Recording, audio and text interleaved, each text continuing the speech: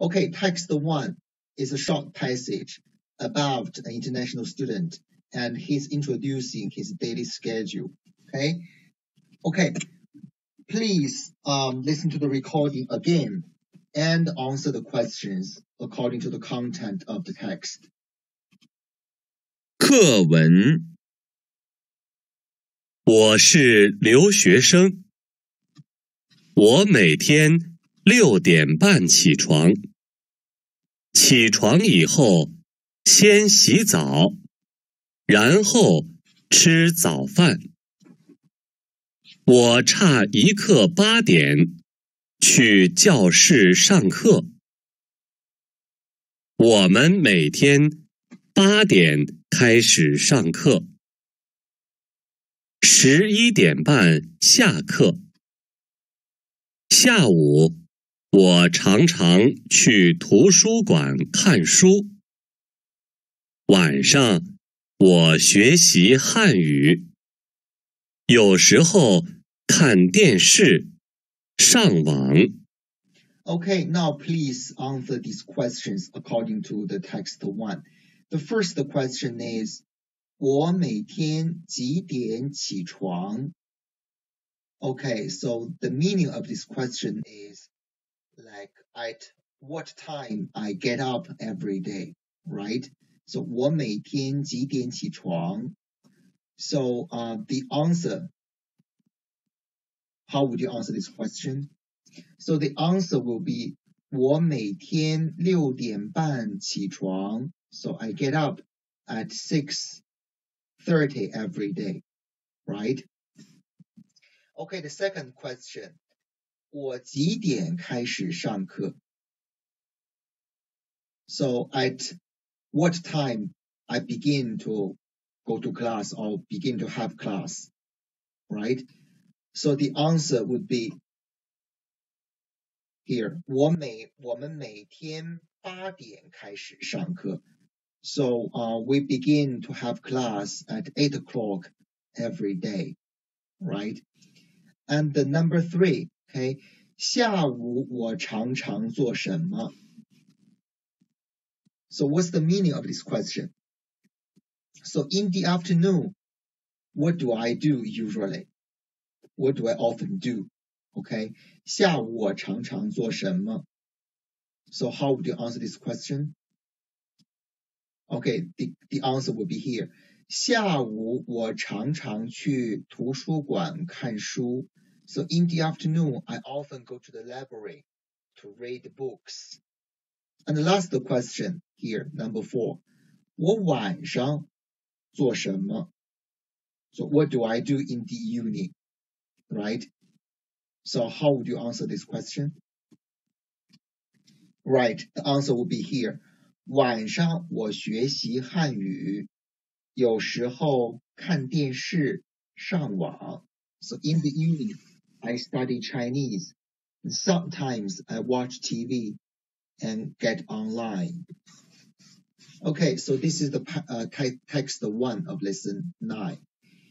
And in last class, we also learned um, the expressions or how to tell time in Chinese and how to ask about time. So anyone can answer what's the basic question pattern for inquiring about time in Chinese. So 现在几点? So what's the time now, right? 现在几点? Okay, so don't forget this very basic question pattern. Okay, and also there's two other notes we need to learn from text one. So as we have learned in last class, 先 something, 然后 something. So in the text one, the question, the uh, expression using 先 something, 然后 something is here. Right? So 起床以后先洗澡。然后吃早饭。Right? So what's the meaning of this expression? 先 something, 然后 something. So 先 means first do something, 然后 and then something, right? So 起床以后先洗澡， 然后吃早饭。So after I get up, I first take a shower and then have breakfast. So 先然后 Let's see some other examples. So here on the textbook is here. So there's a quick note about 先 something, 然后 something. So this expression indicate the sequence of action, sequences of actions, right?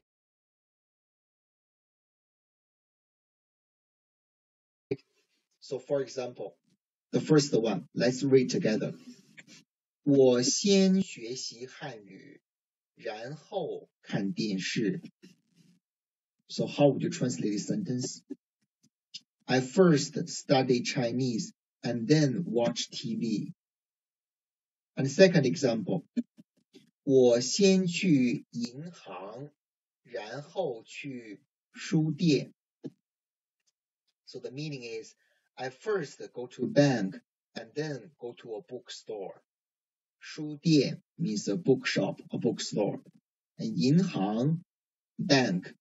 So we learned in previous lessons, like Bank of China, 中国银行, right? So number three, 我先上课，然后去商店。 I first go to class and then go to a shop. 商店 means shop, right? So here are just the three other examples using the ex expression of 先 something 然后 something, which means firstly or first do something and then something and then do something. So show indicates the sequence of actions. Okay, and the second note from text one is here, like um 我去教室上课。Here. 我差一刻八点去教室上课。So here the expressions also shows the sequence of action. Like 去 a location or 来 a location and then do something. So here let's see the note together. Right? So 来 or 去. So 来 means to come and 去 means to go. Right? To come or to go. And here can add an object which is a location, right? and a verb means action and do something, do something else, right? So let's see the note here. The structure 来 or 去 plus object one. So here object one should be a place or location and plus a verb and plus object two. So it's used to indicate one comes or to goes to somewhere to do something.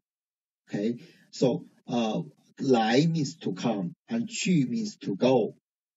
And this object one means like somewhere, a location, a place.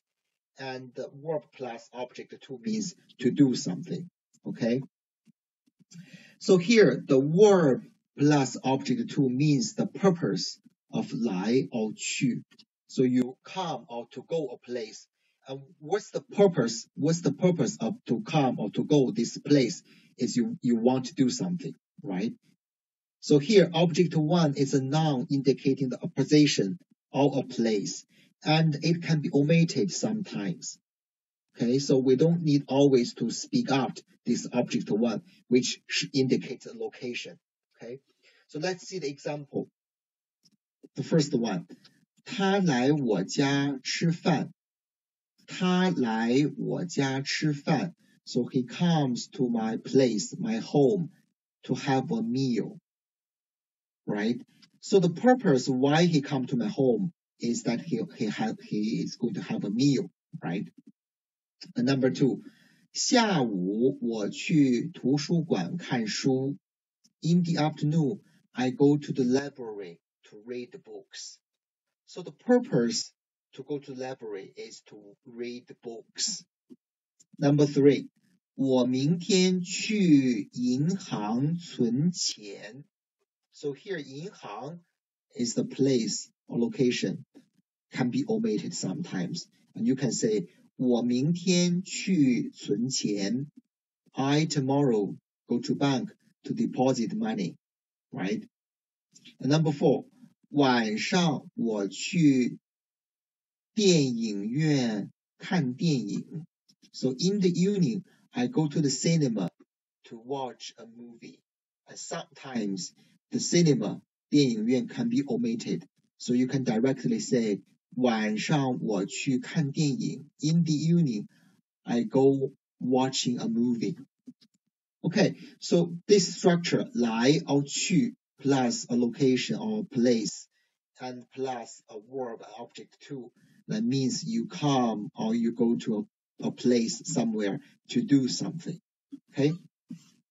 Okay, that's all for the uh, text one. Now let's come into text two. Okay, text two. Okay, first let's uh, learn the new words and expressions of text two. 课文二， 生词。现在是开门关明天 Okay, please. 专名英文 Okay, let's read again. The first one, 现在, which means now, at present. 现在. So as we have learned, like the most basic uh, question pattern for asking about time in Chinese is that 现在几点 what's the time now, right? And next one, 事 means a matter, affair, right? So 有事 have something, have something, have a, uh, something to do. Like um, in the spoken Chinese, like sometimes we ask someone else, 你有事吗? Like, do you have some matter? Do you have something? Which means, which means we use this question means that 你有事吗? Like, how can I help you? May I help you? Right? So 你有事吗 literally means that do you have something? Do you have a matter? Which actually means like how can I help you? May I, may I help you? Okay. And next one. 开 to open and 门 means a door, a gate. So open the door, 开门, right? 开门. And sometimes 开门 also indicate that a place like a bank or a library to begin the business. Okay, to begin the business. So not always literally means open the door. So you can say that 图书馆, uh, 图书馆开门. So the library literally means open the door. So which means the library begin the business. Okay, so at that time you can go to the library, like to read books or to rent a book. Okay, so that means the library like begin the daily business. Okay, Kaimen. And also Yinhang Kaimen, the bank begin its business. Okay, so now always means the bank open the gate the bond, the bank opens the gate actually means the bank begin the business. Okay. The next one, to shut, to close. One, okay, one, and to shut or to close the door. One men, the guanmen. So similarly to the uh, open the door, kaimen. So guanmen not always means like um, to close the door. So sometimes guanmen indicate a place like a library or a bank to finish its business, its daily business like 图书馆关门.